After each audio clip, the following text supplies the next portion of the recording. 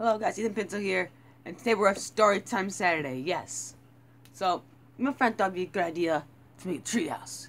Yes. And, you know, we are talking and talking, and B-Dog comes over, and he's like, Dude, my friend is a neighbor, he's a, he has a treehouse over there, and I'm like, Haba, haba, haba, haba, haba, haba, I got all oh, African on this guy, no offense though. African Americans, my best friend is African American, okay? Yeah. But, seriously, you got he goes just ha ha ha ha. You, you know treehouse? You're talking about. You're talking about how cool it's gonna be. And you, you just tell us now, man. We need to get down. Business. We need to talk. So we go to bed. We got there's a thunderstorm of course. Thunderstorm strikes our dream treehouse. I'm saying, saying, just saying, just saying. Next thing you know, the dream treehouse, the dream. But we ain't quitters.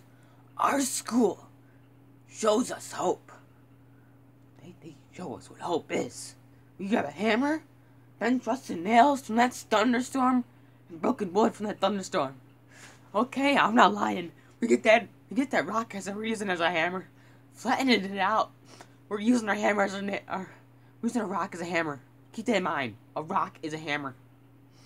And these nails are bent, legit. And we're using a rock flatten them out, and only nail them into the wood too. We had hope. We had hope. Yes. Did. Did. So, midway through, you know, it's, it's holding up pretty good.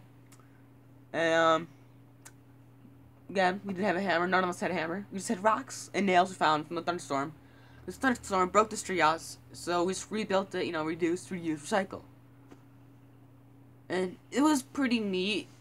It was like, was it stable? Yes. Like if it was stable enough say would it last? I don't know, like, well, subscribe to that like button. Hope you had a good one, and bye, see you guys. Thanks everyone.